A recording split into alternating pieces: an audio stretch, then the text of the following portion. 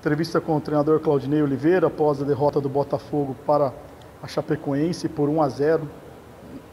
Claudinei, a primeira pergunta é do Felipe Melo, da Rádio CBN. Boa noite, Claudinei. No primeiro tempo, o Botafogo criou algumas oportunidades, mas na segunda etapa o time não conseguiu criar. Por que dois tempos tão diferentes? No segundo tempo a gente não conseguiu criar, Felipe, porque a Chapecoense fez um gol no início do segundo tempo e se fechou. Né? Que se defende bem, tanto que a defesa a defesa menos vazada da competição, se não, se não me engano. E se posicionou ali, fez duas linhas de quatro, muito bem feitas, se organizou defensivamente, a gente tentou achar os espaços e não criamos. No primeiro tempo, quando o jogo estava 0 a 0 eles nos proporcionaram mais espaço, até porque estavam buscando o primeiro gol assim como nós, então acho que a dificuldade foi essa, nada mais do que isso. A gente criou, tentou movimentar, tentou criar espaço, fizemos um jogo mais apoiado do que no primeiro tempo. No primeiro tempo foi um jogo às vezes mais de bolas longas, a gente conseguiu fazer um jogo mais apoiado, trabalhar a bola por dentro um pouquinho mais. Só que ela, a Chapecoense se defende bem, a marca da Chapecoense no campeonato é essa, eles não têm um ataque tão efetivo, mas tem uma defesa que é melhor do campeonato. Então eles criam dificuldades não só para o Botafogo, todas as equipes que vêm têm dificuldade de fazer gol na Chapecoense. Claudinei, agora a pergunta é do Jorge Vinícius, da Rádio 79. Claudinei, o Wellington Tanque definitivamente não vive uma boa fase. Não está na hora de experimentar outras alternativas no ataque? Nós experimentamos hoje, né? Colocamos o Judivan, pra, pra, a gente tinha, quando utilizou o Judivan, tínhamos utilizado os dois juntos, com, com dois jogadores jogando por dentro. A gente tem sempre busca alternativas. Agora o Wellington, como eu falei na, na coletiva depois do último jogo, a gente tem que é, imaginar que o atleta vai, vai oscilar, um jogo não vai jogar tão bem. Hoje foi um jogo que o Wellington não teve tanta facilidade, não teve tantas bolas também, teve uma bola boa ali para finalizar no primeiro tempo. Teve uma cabeçada também, né? passou ali próximo. Mas a gente imagina que, por enquanto, a gente está imaginando que o Wellington é a melhor opção. Só a partir do momento que a gente achar que a gente tem que buscar alternativas, seja o, o Judivan, seja outra alternativa de um atleta para jogar ali por dentro, a gente vai buscar, não tem problema nenhum. Mas a gente tem que confiar no Wellington porque ele já, pelo que ele já tem, tem entregue para a gente, por ter feito gols decisivos importantes para a gente também. Claudinei, agora a pergunta do Vinícius, do SBT. Boa noite, Claudinei. Nova derrota fora de casa e o torcedor já volta a ficar apreensivo. Aquela boa fase era aparente ou foi só uma derrota fora de casa? Cara, eu acho que assim, a gente, o jogo de hoje, vamos pontuar que o jogo de hoje a gente fez. É, estou falando que eu falei para os atletas no, no, vestiário que eu estou falando para vocês. A gente entrou um pouquinho abaixo do que a gente está acostumado, cinco primeiros minutos do primeiro tempo. Nós entramos numa rotação abaixo, não entramos naquela pegada que a gente entrou, por exemplo, contra o, é, no último jogo em casa ali contra o Paraná, a gente entrou né, um pouco desligado. E os cinco minutos do segundo tempo a mesma coisa. E fomos penalizados por isso. A gente tomou um gol no início do segundo tempo. A nossa equipe eu acho que não entrou naquela mobilização que a gente está acostumado e fomos penalizados por isso. Eu acho que foi um jogo fora isso. Foi um jogo equilibrado, um jogo onde a gente é, jogou de igual para igual com uma equipe que está no G4, né, que é a Chapecoense está no G4 desde o início da competição. Então acho que a gente fez um jogo equilibrado, com dificuldade que todo mundo vai ter de enfrentar a Chapecoense pela forma como se defende. Mas eu não acho que a gente pode agora também achar que, ah, perdeu um jogo, está tudo errado. Como eu falei naquelas duas vitórias, que a gente tinha que estar um pouquinho mais feliz, mas que tinha coisa para melhorar. É ter esse equilíbrio e pela vitória contra o Sampaio, a Série B é difícil, a gente sabe disso. Mas eu confio que a gente consiga fazer um grande, consegue fazer um grande jogo lá em, em São Luís e trazer os três pontos. Agora a pergunta do Reginaldo Decares, da Rádio CMN. Claudinei, Botafogo jogou, na sua opinião, Botafogo jogou de igual para igual, teve a chance no primeiro tempo e não fez, a Chape teve a oportunidade, fez? Sim, eu acabei de, acabei de ver, ver, ver o encontro da minha última resposta. Eu acho que a gente fez, jogou um jogo justo, igual para igual com a Chape, que é um adversário difícil. Eu acho que eles criaram algumas chances, até algumas situações, a gente sabe que a bola parada da Chapecoense é boa, muitas situações deles foram originadas de bola parada. E a gente criou as nossas chances, boas chances também, às vezes a finalização não foi perfeita, mas eu acho que foi um jogo de igual para igual. Eles aproveitaram mais até do que as chances, acho que eles aproveitaram esses cinco minutos nossos, esse retorno do intervalo, que a gente voltou um pouquinho abaixo que está acostumado e eles entraram já na, naquela pressão de, que os times da casa costumam, costumam fazer nos 5, 10 primeiros minutos e conseguiram fazer o gol antes da gente conseguir se reorganizar. E fomos penalizados por isso, como eu falei anteriormente. Eu acho que agora é, não deixar, não permitir que isso aconteça de novo, né? Aconteceu hoje, mas não pode acontecer, não pode ser uma coisa recorrente na competição. A gente tem que entrar como entramos contra o Paraná, que com, com dois minutos a gente já teve uma chance de gol, bateu o escanteio, fizemos o gol. Essa que tem que ser a pegada nossa no início do jogo. E isso pode ter certeza que está sendo cobrado. Né? Eu estou cobrando eles, eles estão se cobrando também.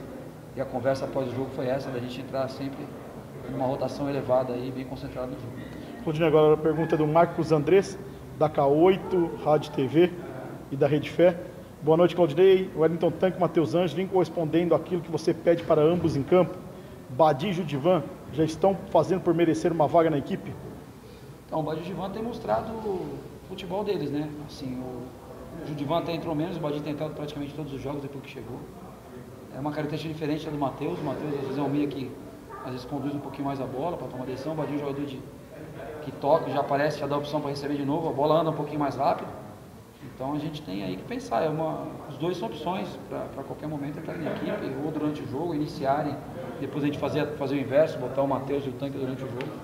Mas estão buscando seu espaço, eu acho que é isso que eles têm que fazer, quando entrarem, mostrarem um bom futebol e buscarem espaço, que é assim que a gente achar que eles estão numa situação de merecer titularidade, a gente vai fazer sem problema nenhum. Não temos, como eu falei, ninguém tem cadeira cativa na equipe, ninguém vai ser reserva o ano inteiro, depende do rendimento deles, a gente trabalha muito com meritocracia. Ok, Claudinei, agora a pergunta é do Murilo, do Jornal Tribuna. Boa noite, Claudinei.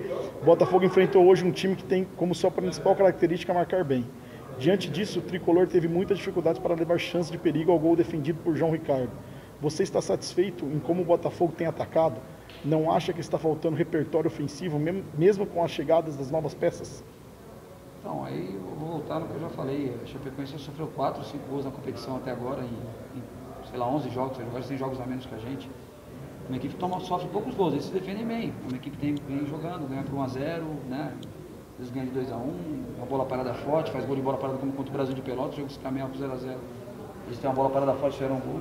É uma equipe que tem esse modelo de jogo e está tendo sucesso, né? Uma equipe que se defende bem, quando possível ataca. E a nossa equipe não, nossa equipe sempre que pega a bola busca o ataque. Agora você atacar uma equipe que se defende bem é diferente de você atacar uma equipe que não tem essa qualidade defensiva, que se expõe ou que, que tem, ou que tem muitas brechas defensivas. Então, a gente tem que valorizar um adversário que se defende bem, como a gente se defendeu bem no, no jogo passado contra o Paraná e, e deu poucas oportunidades para o Paraná, acho que também se defendeu bem aqui hoje.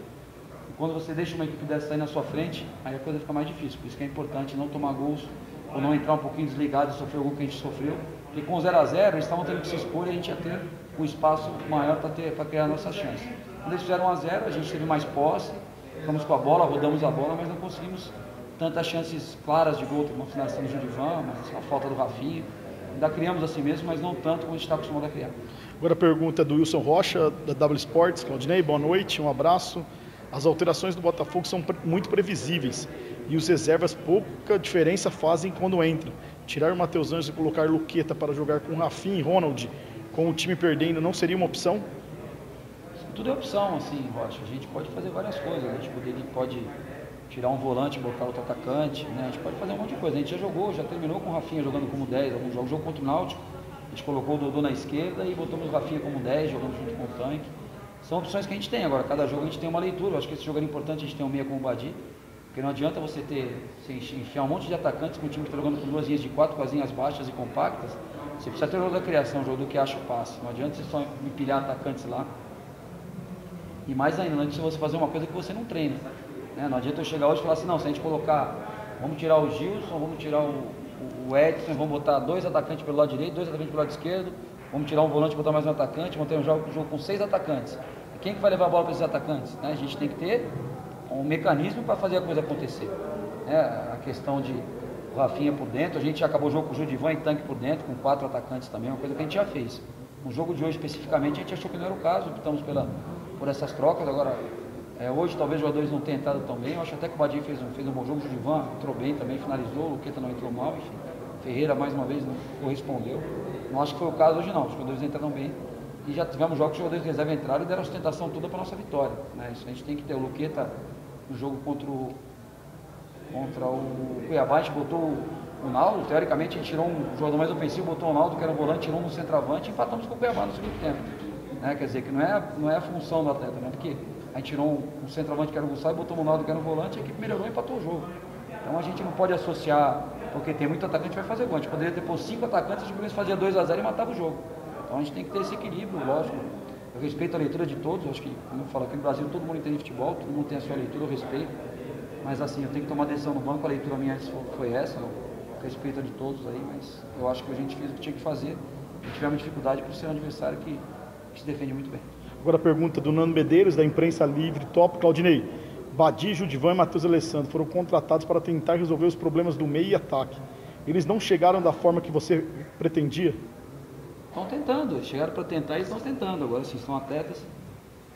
É, o Badi tinha a última partida oficial dele foi no Guarani antes da pandemia. Então o Badi, a gente está entrando no ritmo, vê que ele está melhorando a cada jogo. O Matheus Alessandro vinha no Fluminense treinando normalmente, mas não vinha jogando. Então o ritmo de jogo é uma coisa que faz falta, até por isso que em algum momento a gente está optando pelo Luquete e não pelo Matheus, mas o Matheus a gente vê no dia a dia, nos jogos, a qualidade dele, do drible, do um contra um. Né? E o Judivan também estava no Cruzeiro, participou de um jogo do Mineiro, um jogo da Copa do Brasil, mas não vinha jogando tanto também. Então ele está se resistindo um pouco do, do, desse ritmo de jogo. Né? Isso aí só vão adquirir entrando nos jogos, às vezes não iniciando, mas entrando um pouquinho em cada jogo para adquirir esse ritmo. Eu acho que o Badi hoje já mostrou que já tá, tem condição até de iniciar uma partida como titular, que vem apresentando, é, em termos físicos, de ritmo de jogo, e os outros a gente está tá administrando, a gente conta com todos eles. Né? Agora, vamos lembrar que a gente vive de duas vitórias, né? a gente não pode agora também perder e achar que está tudo errado. Né? nem quando ganha achar que está tudo certo. Vamos ter equilíbrio, vamos é, digerir essa derrota que não é fácil, porque eu acho que a gente perdeu um jogo que é, não era para ter perdido, né? comparando as duas equipes, acho que a gente tinha condição de pelo menos sair daqui com empate, mas perdemos, agora é, é corrigir os erros e buscar sair dessa situação complicada que a gente tem na competição. Claudinei, agora a pergunta é do Rafael Gonçalves, da RG do Gol. Claudinei, boa noite. A forma de jogar do Botafogo nesse campeonato já não está manjada pelos adversários? Os três últimos gols vieram de cruzamentos, jogados pelas pontas ou bolas aéreas. Por que existe tanta dificuldade em jogar pelo meio em busca do gol? Todo time tem dificuldade de jogar pelo meio em busca do gol, gente. O futebol hoje em dia as equipes fecham o eixo central do campo e dão a lateral para o adversário. Nós temos que ser sim competentes como a gente tem sido para jogar pelo lado. A Chapecoense também as principais jogadas, principais jogadas da Chapecoense foram pelo lado. Difícil você entrar por dentro trocando passe. Até que a gente, com a entrada do Judivan depois, ele conseguiu flutuar entre linhas. Gente já conseguiu algumas tabelas por dentro, a finalização do Judivan foi por dentro, a falta ele sofreu por dentro.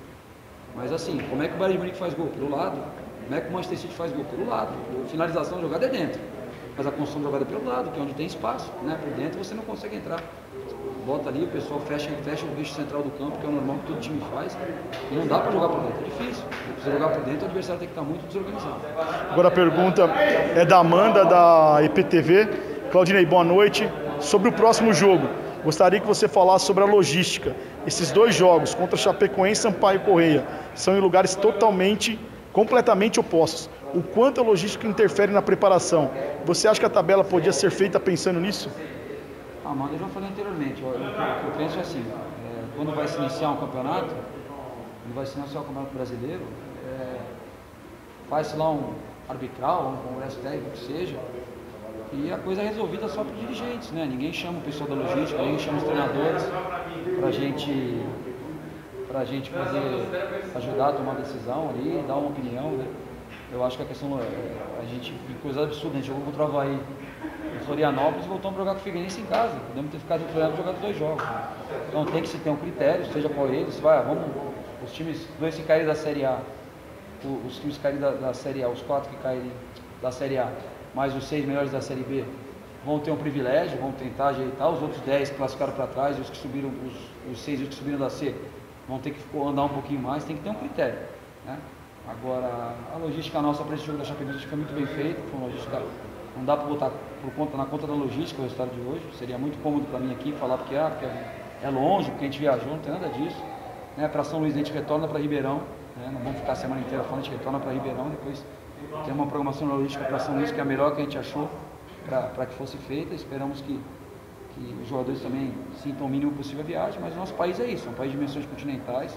A gente vai enfrentar isso, outras equipes vão enfrentar também. A gente tem que fazer o melhor possível dentro da, da, da nossa condição e, e, e, procurar vencer os jogos. Não podemos ficar arrumando muleta em logística ou no que quer que seja. A gente tem que ir, tem que jogar os jogos todos, todo mundo vai ter que ir em São Luís, todo mundo vai ter que ir em Chapecó. As equipes que jogam com o Botafogo também às vezes tem que descer em Campinas e de ônibus até Ribeirão, ou descer em São Paulo e ônibus até Ribeirão. Então, é, é, trabalhar e não ficar arrumando desculpa nem muleta. Vamos trabalhar, eu acho que só com o trabalho a gente vai sair da situação que a gente está. A gente vem numa sequência, os três últimos jogos a gente fez seis pontos, agora se a gente pegar uma, uma amostragem maior, a gente tem pontuado pouco na competição, né? não está não tá o ideal, estamos com aproveitamento baixo. E vamos buscar melhorar isso aí já a partir do próximo domingo. Beleza, professor.